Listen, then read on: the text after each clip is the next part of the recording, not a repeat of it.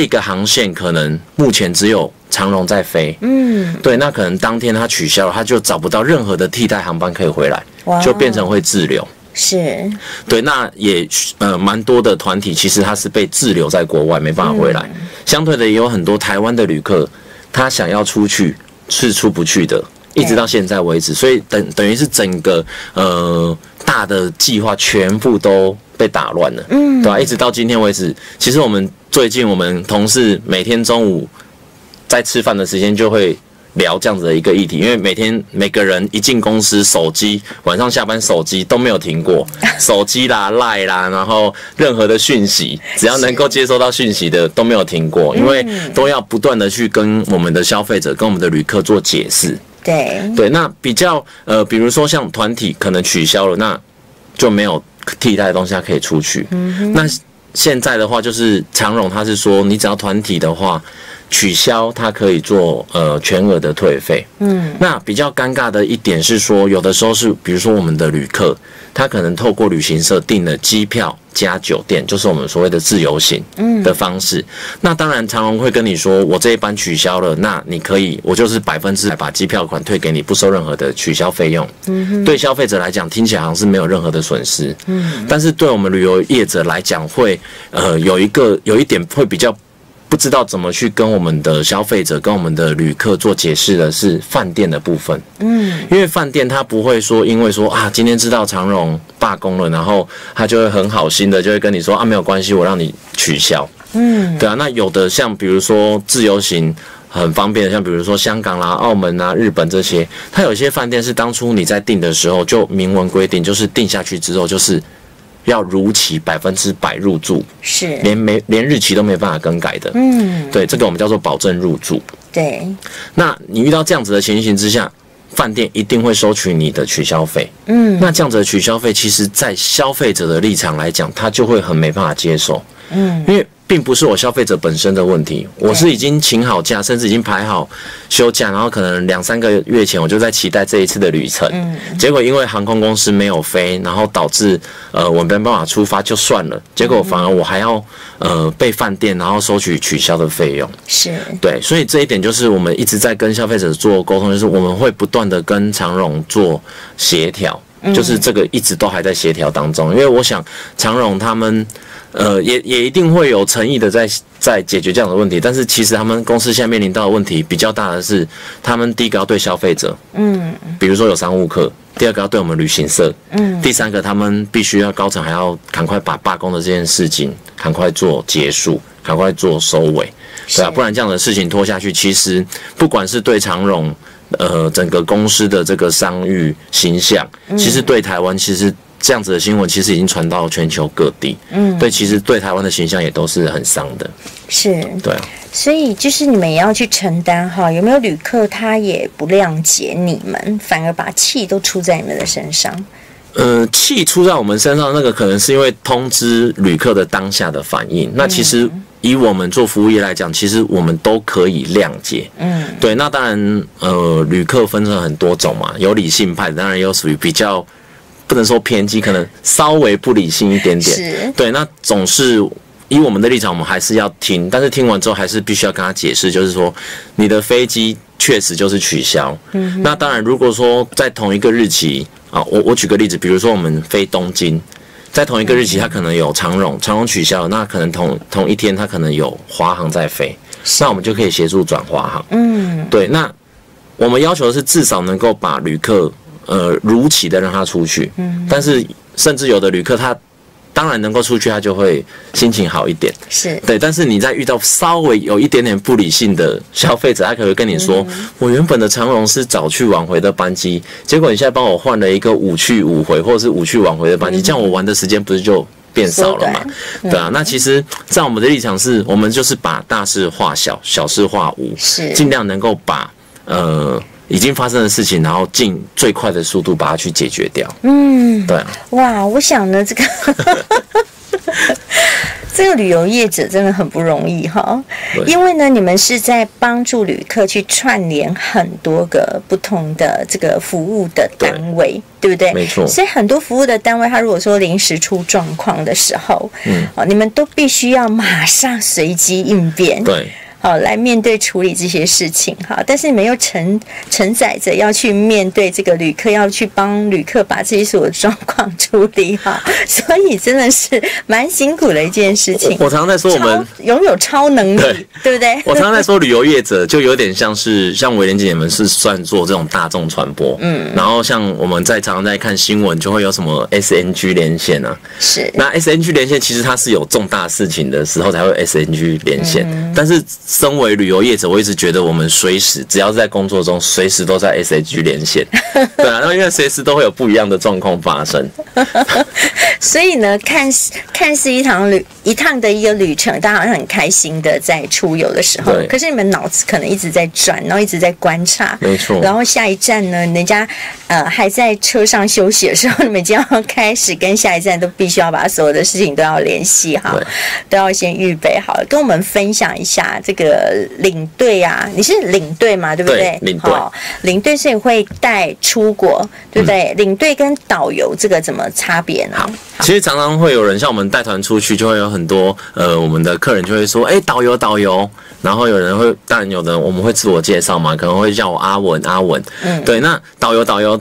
的这个用词，其实我们也不会去纠正客人，是。但是其实刚好也就有这个机会，可以跟我们线上的朋友、跟看直播的好朋友去讲一下，导游跟领队要怎么区分。对，其实导游就是很简单，就是只要是国外的旅客来到台湾，嗯，那在台湾游玩，带带这些国外的游客的这一群呃这一些工作者叫做导游，是。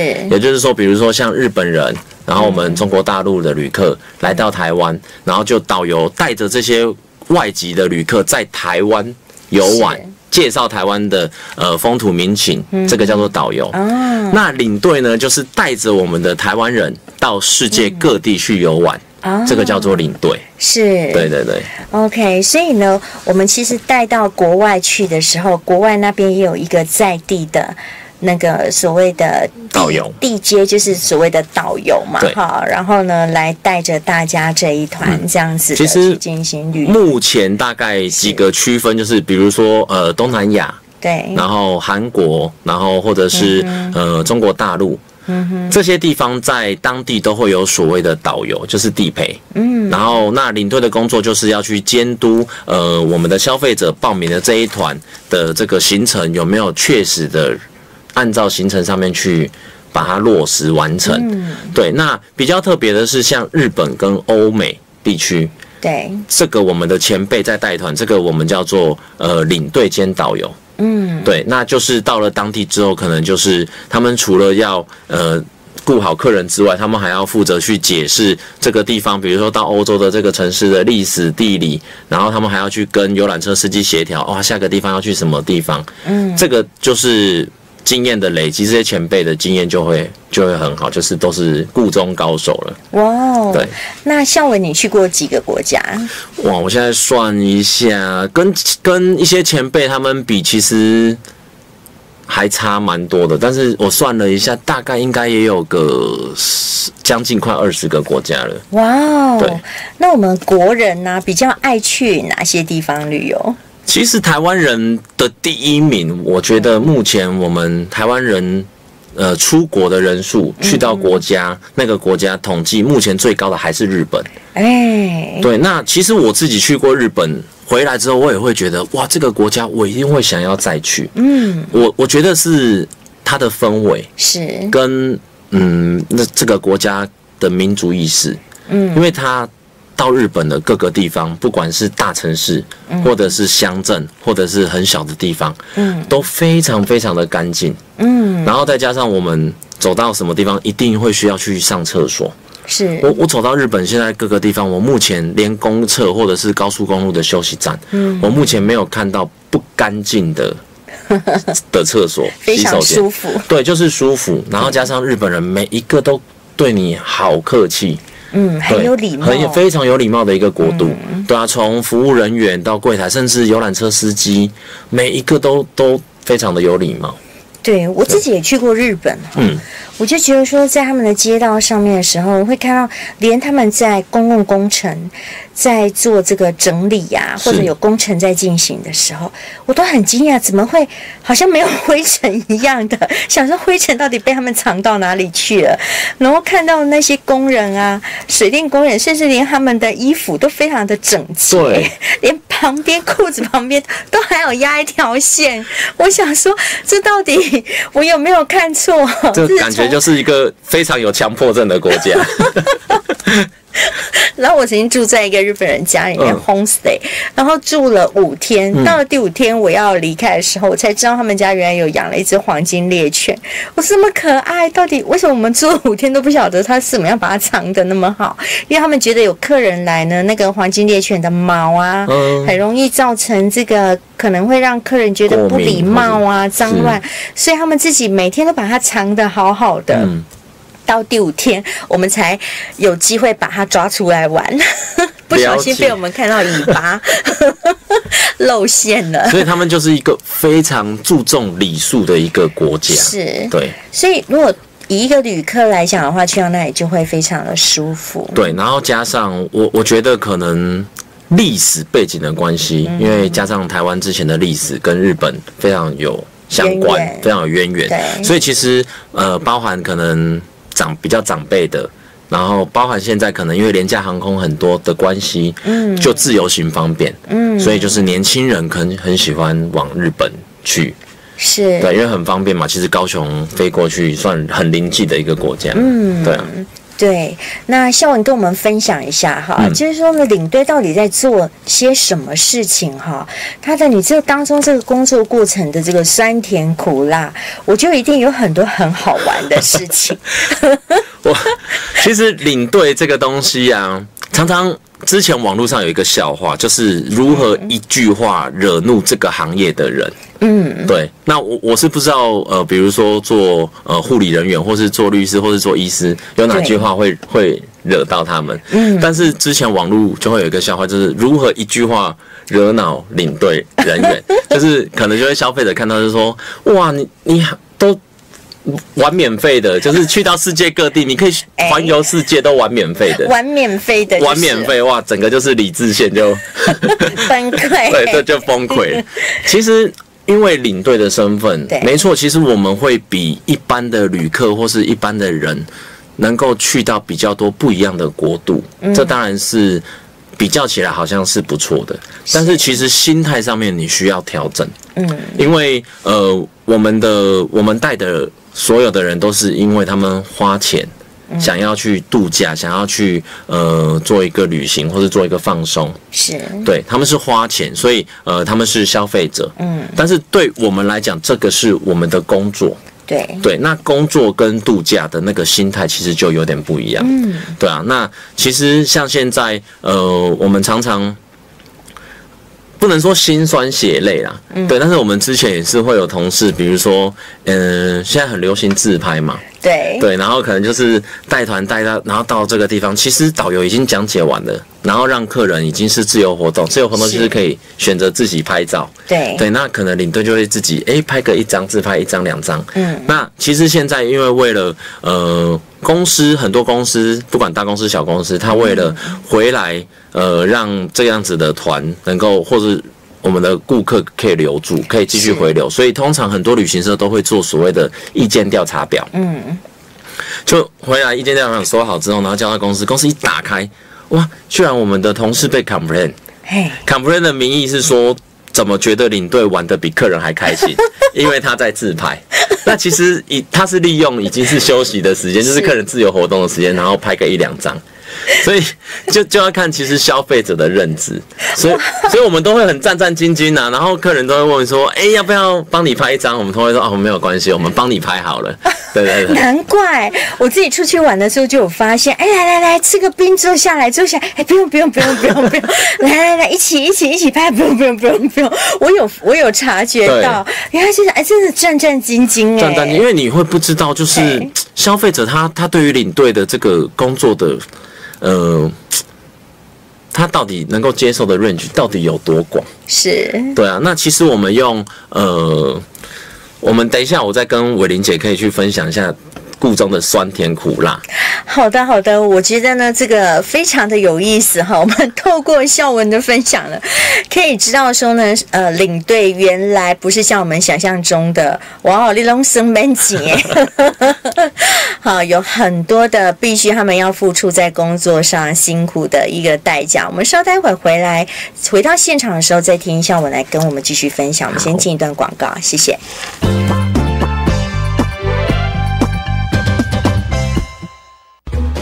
高雄融合了多元文化，打造出缤纷的城市。春天到纳马夏赏樱，夏天去旗津玩水逐浪，秋天到美浓拔白玉萝卜，冬天到宝来泡美人汤。高雄还有很多好好玩的地方等你来发掘。跟着我们，利用高雄捷运、轻轨、高雄市公车、C Bike 多种便利的交通工具，一起到高雄游乐去喽！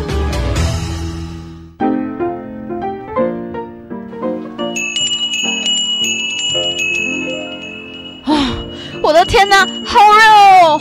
对啊，感觉都快要融化了。两位好，请问想要点些什么呢？嗯，我要冰拿铁。那我想喝巧克力冰沙。好的，马上来。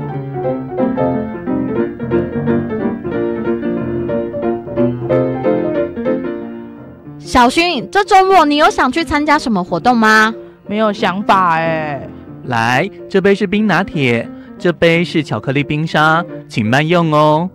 对了，两位美女，这周末在爱河有很好玩的活动哦。老板，是什么活动啊？在爱河畔河西路园道有二零一九爱河畔仲夏恋曲活动啊，有五个夏日特色打卡点，还有特色餐车跟人气文创三轮餐车，好看好玩又特别哦。但开车、骑车好麻烦哦。搭大众交通也很方便呐，搭到高雄捷运盐城埔站下车，或者高雄市公车林南、林北十一、三十三、五十号等公车，到大城街口真爱码头站下车之后，步行前往就好啦。对了对了，附近也可以租高雄市公共脚踏车哦。谢谢老板告诉我们这个活动。不客气，请慢用哦。高雄游乐趣，轻松来到丁。以上广告由交通部档案会及高雄市政府新闻局提供。快乐台湾，精彩不限，快乐联播网。好的，非常的开心，又回到了我们直播画面的现场了。坐在我左手边的呢是生龙旅行社的经理陈孝文，买菜给阿文呐，没错，可以叫他阿文哈。好，刚才呢，呃，阿文有跟我们分享了非常多这个领队哈，是原来有很多我们不晓得的心酸。哎，那我现在真的要很忍耐呢。你刚才提到的，面对了这样的一个美景，然后。有可能呢，说不定领队有可能他第一次到这个国家来，真的很难免。基于人性，你多少会想要留一点点的一个记录，好，但是一刻不能放松。啊，哇哦，那是那是要有相当的耐力。那再跟我们分享一下，还有什么有趣的事情？心酸。我们在今天的题目是酸甜苦辣嘛？对。那其实如果说我们以领队的生活的酸，那我觉得那是一个。感觉跟一个氛围，对。那比如说我们在带团，呃，因为这个行业其实我一直觉得很喜欢。是，我我当初我当初高中的时候，我读的是工科，是。但是我读工科的时候，我就会发现读到最后我没有兴趣，然后我就跟家里的人沟通，说我想要转，呃，考那个时候高雄最有名的高雄餐旅学院。嗯，对。那我当初是想要学当厨师，因为我觉得厨呃西。拿那个西餐刀很帅气，嗯，对，然后妈妈就跟我说一句话，说你有办法在呃厨房里面能够待这么久的时间都做学徒，然后要当上厨师是一件非常难的事情，嗯，对，然后后来开始跟呃补习班的老师，然后跟家里人沟通完之后，觉得哎，我可能比较适合，因为个性比较外向一点，嗯，可能是比较适合。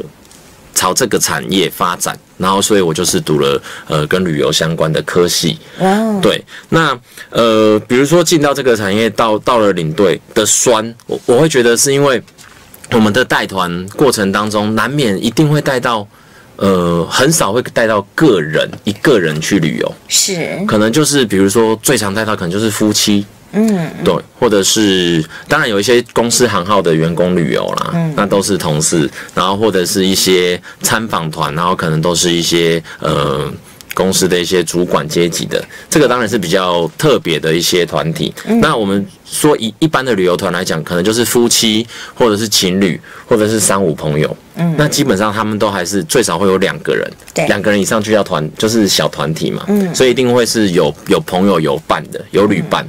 那我们有的时候在带团的时候，因为领队他就是一个人，是，对啊，那你有的时候你看到那种，比如说新婚夫妻，新婚夫妻一定是非常恩爱的啊，嗯，对，那你在这个国度，然后哇，这个风景这么的漂亮，然后你就会看到哇，新婚夫妻很恩爱。嗯，那像比如说，呃，你遇到像我们有些前辈，就是已经成家立业的，对，小朋友在家，或者是自己的太太在家，嗯或者是自己呃女生领队，自己的男朋友还在台湾，嗯男生领队自己的女朋友还在台湾的那个时候，你就会想说，哇，看着他们在这边这样子的一个国度这么的漂亮，然后这么样的风景的的约会的这个画面好美，然后你的心情上面你就会觉得。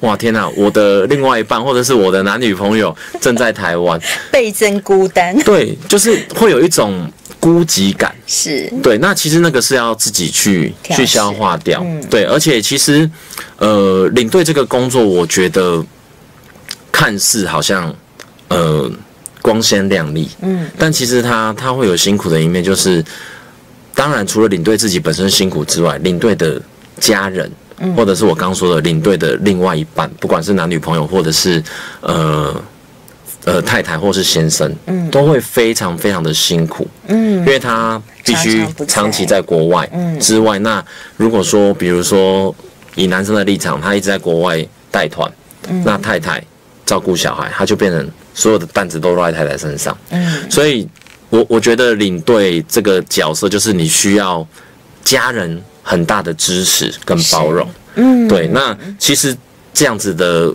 一般来讲，消费者是不会去想到这一些是，他就会觉得，诶，领队就是带我出来玩，嗯，对，那我觉得这个是比较比较酸，你会让你的心情微微的就觉得、哇酸酸的感觉。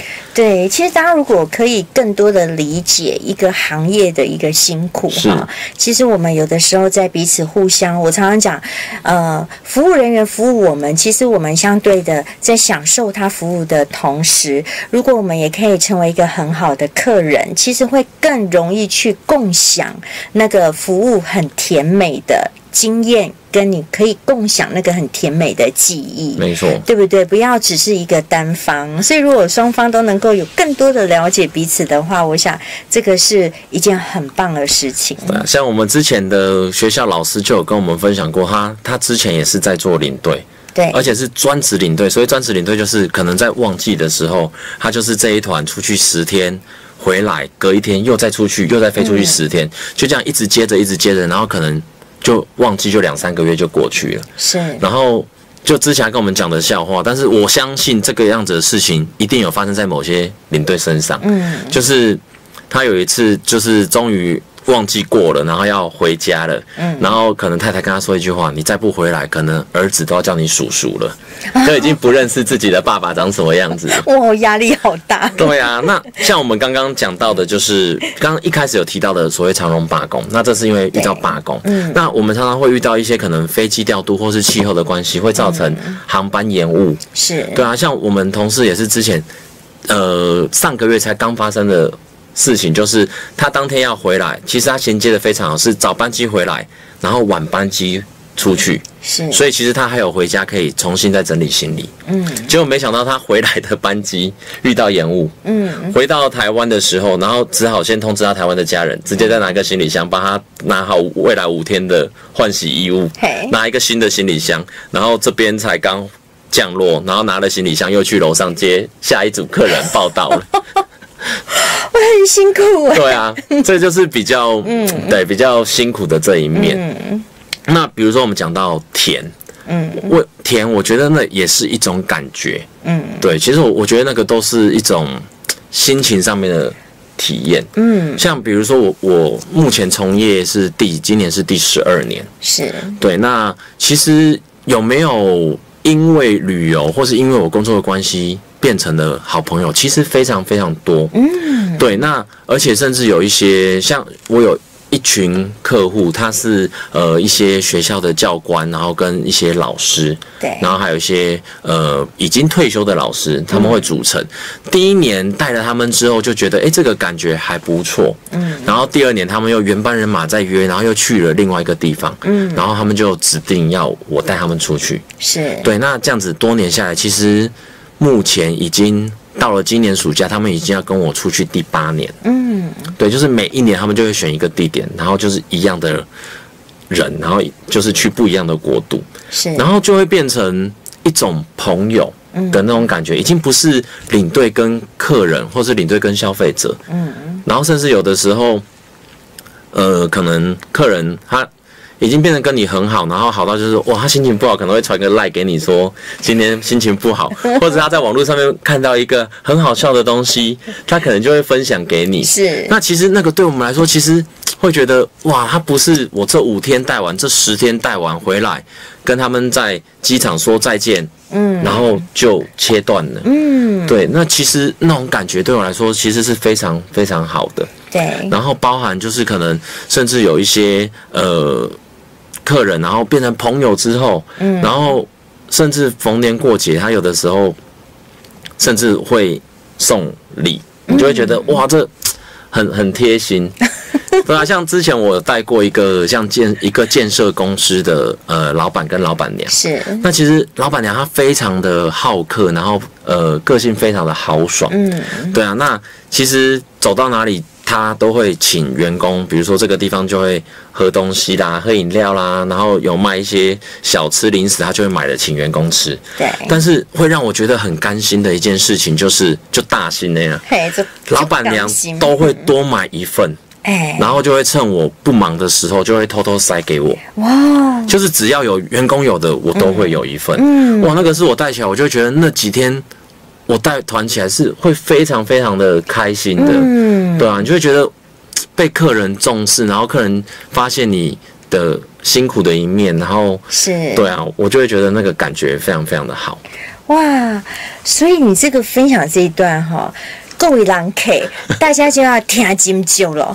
好、为什么呢？因为当一个好客人会让领队很开心的话，我相信我们这一趟旅程会玩得更丰富，对，因为其更有实内容。其实我们的行业很简单，嗯我们的行业就是。讲卖笑好像不太好听哦，就是带来欢乐的一个行业嘛。对，因为基本上，我想百分之九十的客人他报名要出国，或是借参加团体要出国，应该都是开心的吧？嗯，对，大部分百分之九十，要么就是度蜜月嘛，对，对啊，很很少会因为跟男女朋友分手，那当然可能一个人的旅行，那那个现在可能比较流行，嗯。但我想百分之九十可能，比如说全家出游、家庭旅游、员工旅游，那一定都是很开心的啊。所以我觉得这是一个很欢乐的一个行业，是。所以我我也都是一直秉持着这样，所以我觉得。我自己我还蛮开心的一点是，我从业十二年以来，嗯我现在把每一团至少我出去，我把每一团都还是当成我第一团在带，哦。就是我我觉得很重要是一个热忱，对，对，因为其实你的热忱、你的态度，老实说，这样子人跟人是相相处相互的，其实客人会感受得到，嗯，对，哇，这一点非常的重要对。哈，因为真的这个热忱这两个字啊。哦，它才能够从你自己的内心里头去驱动哈很多的正向的能量出来。那我相信在你身边的人、周围的人也能够感染得到，嗯不只是对领队来讲，对各行各业的我们在职的上班族，甚至有时候当老板的也是一样，要激励他自己对。哈，永远要保持着那个热忱哦，才不会轻易的被很多这个现实这个已经已经是很多的麻烦或问题卡住的状态所困扰，是。哦，就要一直回到原点跟自己对话。那我很想知道你到底是做了什么好事，怎么会让你的这个客人呢跟你这个保持联络都不想要 不想跟你 say goodbye 呢？其实我觉得也没有什么好事或不好事，也没有说我比如说比比其他领队服务的要好或什么，我觉得有的时候是一种可能相处的一种感觉一种感觉，像比如说，呃，像我一直习惯就是领队他可能我觉得他有一个特质，当然不是说呃记忆力特别好，但是我会要求，比如说五天的行程，我第一天在机场见到客人之后，是。就宣布完，然后客人就会开始托运行李，然后就要到登机口了。那我会要求我下飞机的那一刻，我大概要能够认出百分之八十我的客人，因为你要拿旗子，是。然后让你的客人来来找你嘛。嗯。但是如果说今天只有，比如说我们升龙旅行社，嗯拿了一个升龙旅行社的旗子，客人来找你，那还好。那如果说今天一次出了三团升龙旅行社的，嗯那客人到底是要找我，还是要找另外一个领队？嗯所以有的时候领队他的记忆力、观察力要非常敏锐一点，嗯对，要非常敏锐一点。那我会要求是第二天，我大概就要到百分之九十甚至百分之百要认出来这一团就是我的团员。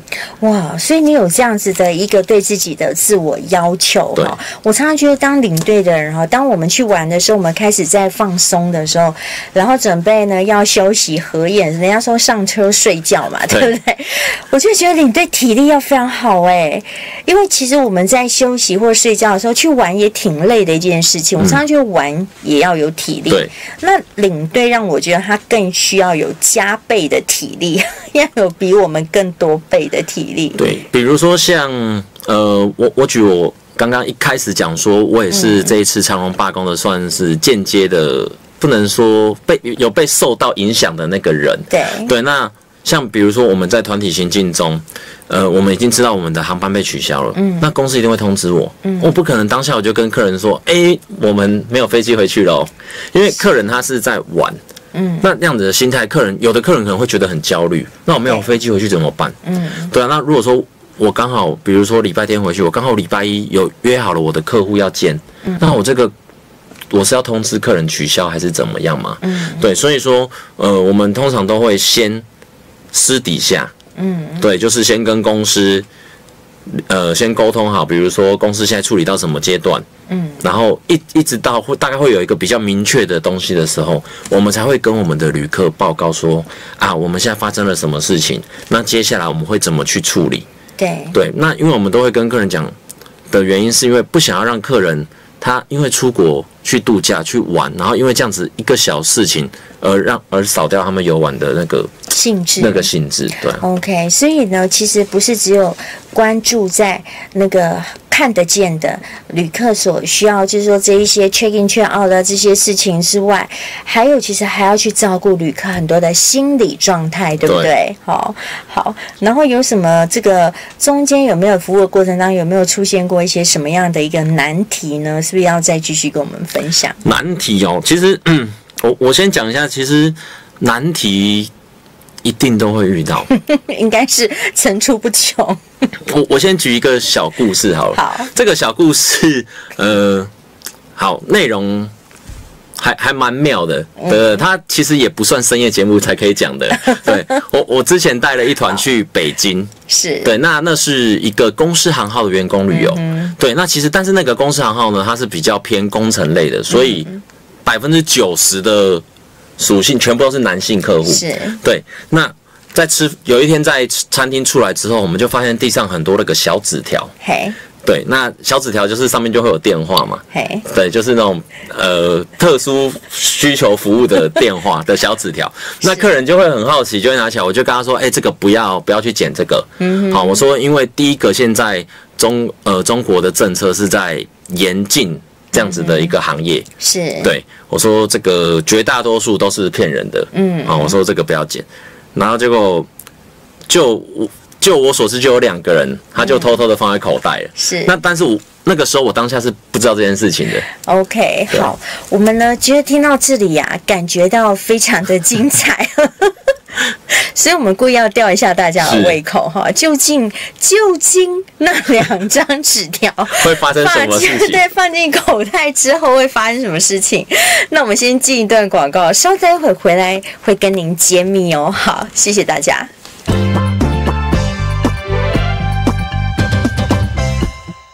有机农业促进法在去年五月三十号由总统令公布，今年五月三十号起正式施行，为国内有机农业永续发展注入了新动力，也让有机农业能够深入各基层，来达到全国农业有机化的目标。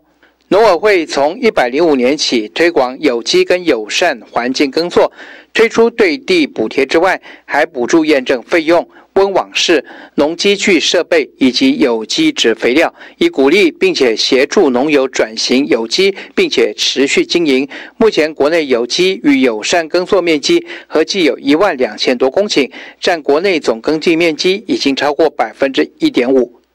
农粮署指出，有机农业促进法施行后，既有的奖助补助措施仍然会持续推动办理，并且将积极解决林田污染的责任归属、有机农业用地取得不易等问题。有机农业科赖明阳科长他说：“那新法里面这个规定呢？”呃，只要农呃有机农产品若经检出有有呃农药这些金用物质残留，那如果我们主管机关有查明确实是因为林田污染所导致的，而且农民也部分也善尽了一个一个保护的责任，有做好林隔离的这些措施的话呢，那我们就不会去对农民予以处分。那但是这批遭到污染的呃产品呢？仍然不能用有机名义贩卖，那这部分就是在兼顾农民经营的权益，那也兼顾了对消费者保障的一个承诺。在整体来说呢，呃，其实整个法最大的对于未来推动有机农业发展的主轴，就是有规定主管机关它必须提出一个有机农业促进方案。那这个促进方案内容，呃，就是涵盖了从产销。到推广辅导，到教育宣导等等，反正有涉关有金融业推动的工作呢，都必须在这个促进方案里面罗列出四年你必须要做的一个项目，必须要报到行政院去核定哈。那等于是说一个跨部会国家级的一个中长程推动执行纲领。那也都因此说，我们会确保以后的政府一定会有充裕的经费来持续推动这些工作。那另外一个部分，作为跨部位合作部分，比如说国防部、教育部等等呢，因为在这个法里面也规定，呃，军队、学校这些公家的一个机关构呢，它必须优先采用在地有机食材。那所以说，我们会在这个促进方案里面呢，把这些工作目标呢，把它明确写进来，来扩大这个团扇的一个有机食材的一个使用。农委会呼吁民众。多多支持购买国产有机或友善耕作的农产品，也支持永续农业。以上是农粮署广告。快乐台湾，无限精彩，快乐联播网。好的，非常的开心，又回到我们直播画面的现场了。坐在我左手边的呢是阿文，升 龙旅行社的阿文。哎，很开心耶！刚才啊，你跟我们讲到一个非常精彩的桥段，就是当地上的那两个有写着电话号码的小纸条，接着发生什么事情了呢？好，然后我们就行程走完之后，就回到饭店，就入住了。那入住，每个人就回房间就休息了。嗯，那我们也是好，然后就休息，然后。到大概凌晨两点多，我的手机不是房间电话，我的手机响起来，响起来，通常领队的第一个反应就想说，哇，凌晨电话来，绝对有事情，可能是客人身体不舒服或怎样。然后电话一响起来，然后电话那头就很很大声，就说领队赶快来救我。然后发生什么事情？为什么要救你？然后我就问他说，到底在什么地方？然后他到底在哪里？然后他就是。微微发抖的声音已经讲不出来，然后后来我说，他就说他打了那个电话，我就说那个电话就是假的，你还打了个电话，我说所以现在发生什么事情？他说真的有人来了，嗯，那来了之后呢，就是比如说原本跟他讲了一个价钱，然后但是人来了之后呢，又变成狮子大开口，然后就说呃在饭店外面已经有十几个人在等，如果说这笔钱不给的话，嗯，然后反正就是被跳墙了，嗯对，那。我就说，那你现在在什么地方？然后还好他没有离开我们的酒店，是他在我们酒店就是二楼已经关闭的那个的那个餐厅，因为凌晨了嘛，我就赶快赶下去。我到了之后奇怪找不到人，然后打电话给他，然后就从一个角落走出来，因为他从他房间夺门而出的时候只穿了一件四角裤，是，然后在大厅，在大厅，然后我就说。那那那些人呢？他说他不知道那些他跑的时候，那个那个女生还在他的房间。我说那你很可爱，那你这样子，你的护照、你的证件，然后你的所有的钱财都在房间，不是被洗劫一空了吗？然后我们就赶快就冲去他房间，结果还好，因为基基本上那个是有星级的饭店，那基本上都有保安。其实那些人也会怕啦，嗯，对啊，其实就是用骗的嘛，就是能够骗骗骗到一笔他就算一笔，嗯，对啊，那其实就是。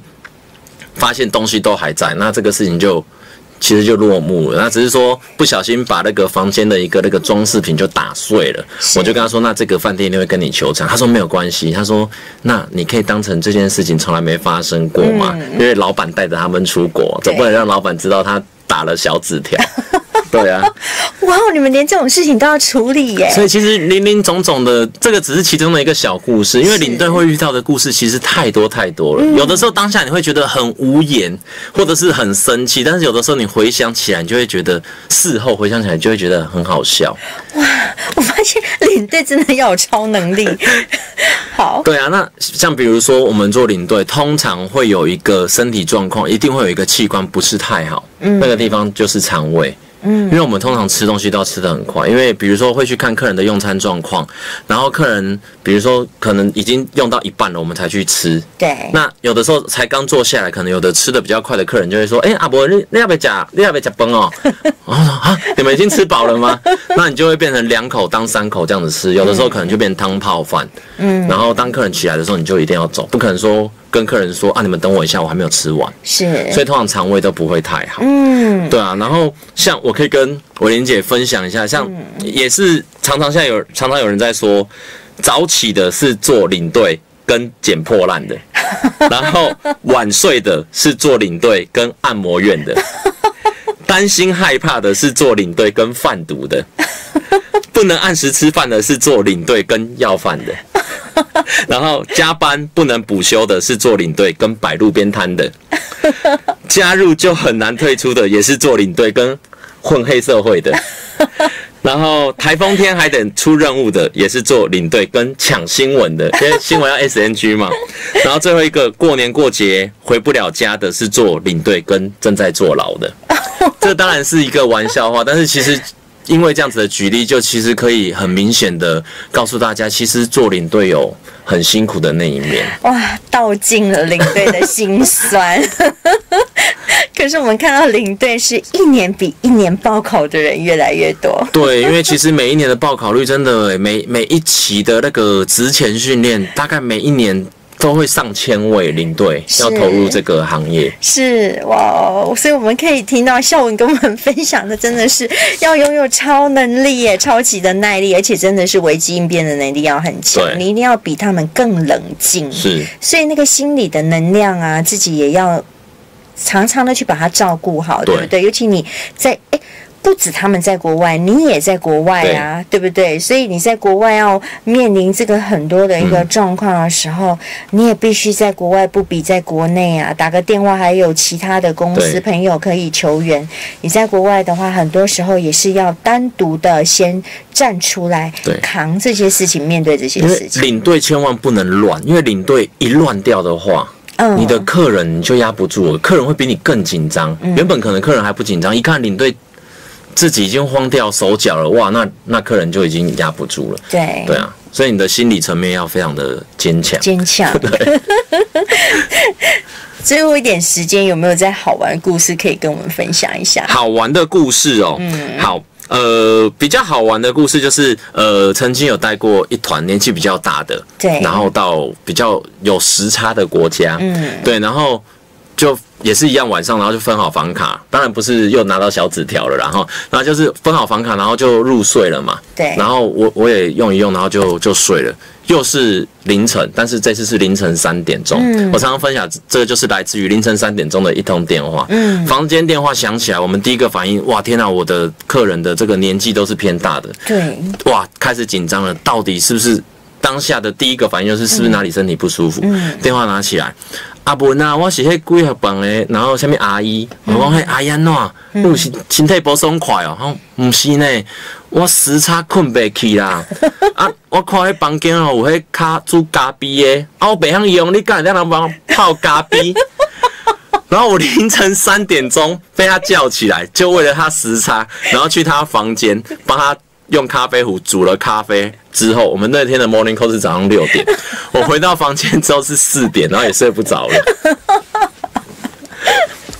哇，真的是太可爱了，太可爱了。所以真的，身为领队，你会遇到什么样的状况？真的，我没有办法有一个 SOP 跟你说，一定会遇到这种状况。是，对这 这完全都出乎你的意料真的出乎意料。所以会发现说了，不管几岁。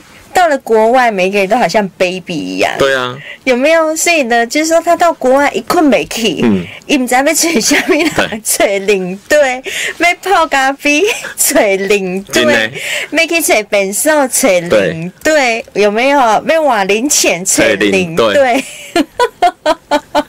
什么什么都是要吹领队，所以真的非常有意思哎。哇，我想你这个，我觉得当领队哈，真的是非常呃不得不得了的这样的一个磨练跟训练啊。好，那因为现在台湾的观光哈，也逐渐的不断的在日益蓬勃发展当中哈。因为我前几天才刚访问了高科大观光系的，有我看到那个直播，就是未来的人才必须要全才，对不对？但是我们发现从你的分享里面，我们发现在怎么样的。去这个教科书去给他们做这个训练跟教育，完完全全不够。任何的挑战都是从他实际的经历的过程当中才有办法去体验到，而且有可能其他的人所经历的是比你跟你不一样的。也是新的，也有可能更精彩。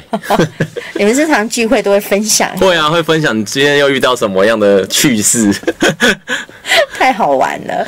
好，最后呢有三分钟左右的时间，我觉得你的故事非常的多哈，真的很好玩，是跟我们大家再分享一下。好啊，如果说之后有机会，就是我们可以在。我们再找机会，然后再跟大家分享更多的小故事。是，那当然，比如说借这个机会，刚刚伟林就有讲讲到，现在有很多人在想要投入这个产业的，比如说呃大学的毕业生，相关科系的。其实旅游业它不止领队这个工作，它还有很很多的，比如说业务内勤、产品部人员，大大小小的这些环节，环环相扣之外，才可以形成一个行程。然后才可以让个人参加，然后才可以飞出去。所以其实不管各呃，只要是你相关科系毕业，其实都非常欢迎大家能够投入这样子的一个呃旅游业的一个产业。嗯，因为旅游业永远不缺心血，都是欢迎大家能够投入进来。因为有了心血之后，比如说心血的一些想法，才可以让我们更有动力。我们也可以去看看，哎，现在年轻人想的东西是什么？也许可以碰撞。出一些更新的火花，嗯，对啊，所以其实不要说你辛辛苦苦读了大学，结果毕业之后你投入的不是相关产业，嗯，其实我觉得你可以先去看一下你在学校学的跟在业界当中实际上的操作是不是有点不太一样，嗯，对，所以你们也很需要很多的创新的能量吗？是需要的，就在行程的设计跟安排，还有甚至出去带团的这些技巧，对。是不是都有需要？对，而且加上这个也是需要经验的累积。嗯，所以当新人加上呃比较资深的一些学长姐，其实互相交流，其实我觉得是会有会不一样的火花的。OK，一直在成长、前进跟学习的过程当中。对，孝文有你自己的粉丝团，对不对？哦，对。就是如果说觉得我们今天的分享啊，然后还不错的话，其实呃，我们公司升龙旅行社好可以用 Facebook 去搜寻，然后欢迎大家加入我们的粉丝页，叫做升龙旅游、升龙旅行社。那当然，呃，社团的话，我个人有一个社团叫做七年校班。阿文带你去旅行，就可以找到我的社团。在粉丝页跟社团呢，我们都会有分享一些旅游的呃一些知识，或者是一些促销的一些行程。其实非常非常多的多元的一些资讯会在粉丝页跟社团上面。好，七年校班，七年校班是因为我是七年级，那因为我的名字里面有一个校，对，非常可爱。我们看到呢，脸书上面有很多的好朋友给我们留言哈，给校文有很多的鼓励，说讲的好棒啊，然后。领队找陈班长就对，你是班长。对，OK，所以啊，真的，谢谢今天有留言给我们鼓励的所有的好朋友。然后，呃，班长阿文也是会继续在这个产业继续加油努力，然后带更多的人，呃，我们去创造更多有趣的故事。对 对，而且它里面其其中有一位网友提到颜值也很重要。哦，颜值，所以表示我的颜值还可以。大家觉得可以吗？可以的话就记得按赞跟分享哦。对，所以领队真的很重要哈。加菲他有提到是旅游时候的灵魂呐。对，好，所以呢，我们这个越来越多年轻的学子们。投入领队的这样的一个行列，啊，我觉得这是一件非常好的事情。从孝文的分享里头，也可以听到从事领队这个工作有很多的挑战，但是也因着这些挑战呢，你不断的克服、超越它之后，跟你的客人建立起朋友一般的感情跟情谊，这是很大的收获，让每一段服务的过程关系持续的延续，非常的开心。好的，我们。很感谢今天孝文来到我们的现场，也感谢各位听众朋友的收听。我们下回希望有机会再邀请孝文过来。好啊，谢谢文姐。下次在空中再相见喽，拜拜。